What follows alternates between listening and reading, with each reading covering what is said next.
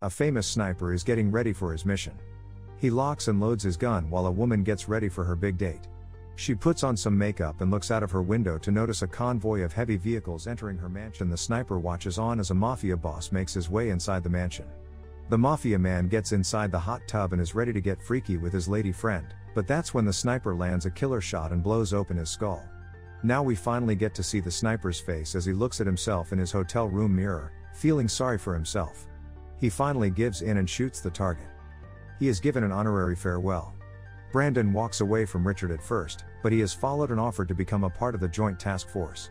It's a lucrative opportunity for Brandon, especially because his father, Thomas, is the head of the task force. Richard doesn't even consider Brandon's wishes and sends him on a flight to Bogota. Brandon reluctantly goes to his destination, where he is greeted by a rather enthusiastic driver. Brandon is concerned about the scar on his face, but it just turns out to be a wild girlfriend. Now Brandon reaches his base of operations, where he meets his new spotter, Santiago, and after that he meets Captain Garza, who is the head of the task force. More importantly, Brandon meets Thomas, who is happy to see his son. Now it's time for the mission briefing, and Brandon is told about Jesus Morales, a Colombian cartel chief who is the prime target. Morales is part of the family of six, which is notorious for all kinds of crimes, including drug trafficking and murder. Brandon is told that Morales' rival Diego was killed by a professional sniper, and we learn that this is the same person from the opening scene, thus fueling suspicions that Morales hires American snipers for his work. Suddenly, Kate Estrada makes her appearance and tries to act bossy with all the men in the room.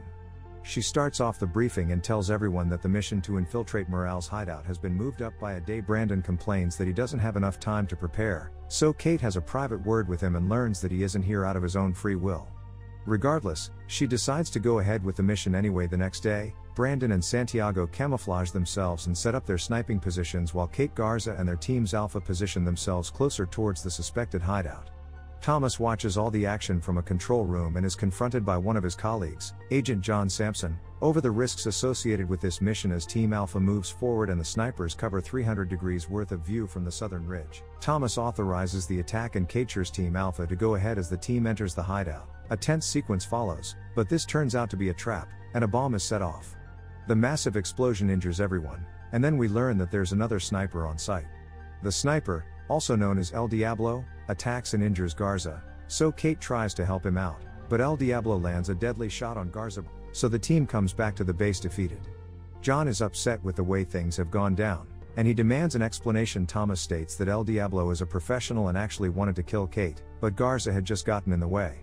John wants to end the mission right now, but Kate begs him not to pull the plug.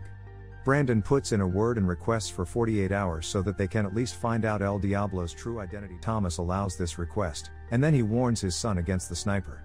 Later, the team enters a hideout spot, but Brandon isn't pleased with how open it is to a sniper attack. Meanwhile, El Diablo gets busy with his girlfriend, Mary Ramos, but gets interrupted by a phone call. His informant tells him that Kate is together with Brandon, so he needs to act fast at the safe house. Kate thanks Brandon for helping her with John, and then they have a word about how difficult it is being in the army.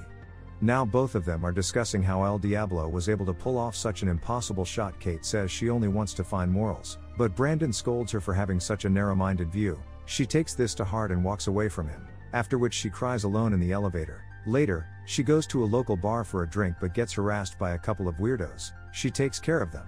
And then she meets Father Carlos, hoping for some advice. Carlos asks Kate to let go of the mission but she cannot afford to give up something she's worked on for so long. Carlos eventually states that El Diablo will lead her to Morales, but she cannot let him know her name or else he will kill her. Kate is ready to take the risk, so Carlos agrees to help her out. Now Brandon gets a tip from Santiago and checks out a sniping range at the safe house. El Diablo happens to be on the opposite side, but Brandon acts fast and manages to fire the first shot. El Diablo is able to evade the shot and fire his own bullet, but Brandon avoids it with ease. Thomas and his team find the bullet fired at Brandon and send it to Richard for analysis. The team is surprised to see how advanced the bullet is, and then Richard has a brief reunion chat with Thomas as they are old friends. John asks to get back to work, but Richard was upset with him for not having a safe house that was actually safe.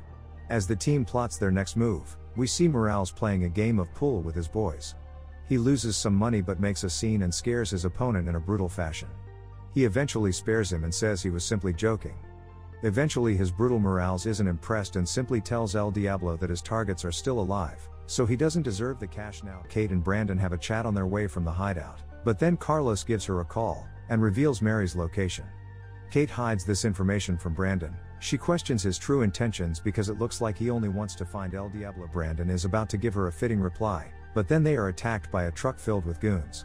A brief shootout follows, and there are casualties from both ends as Santiago is killed. Brandon manages to get rid of all the goons, and then he spots the information about Mary on Kate's phone.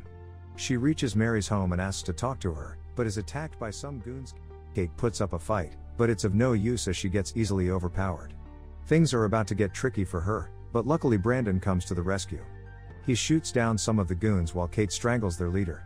Mary tries to threaten her, but Brandon holds her hostage. And then Kate knocks her down.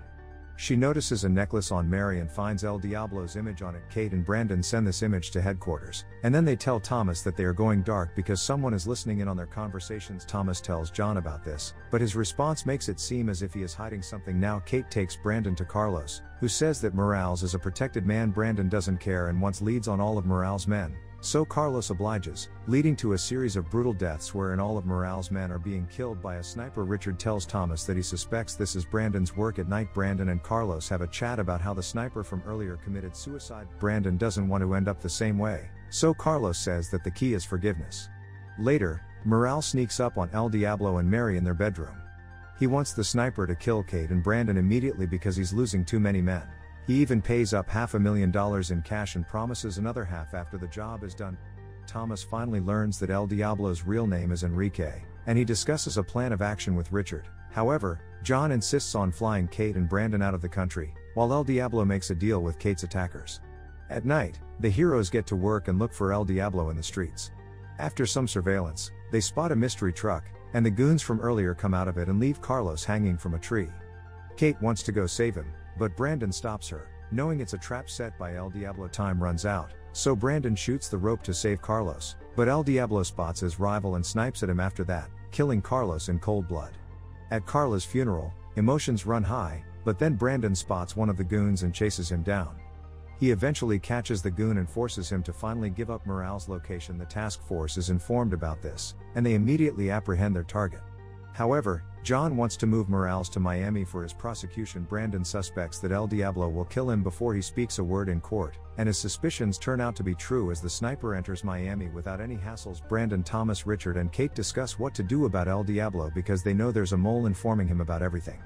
However, it's time to move because Morales is being transported for his prosecution. John accompanies the team, but once they reach their sniping positions, Brandon tells John that the man in the convoy is a decoy, with the real Morale actually being in a white van.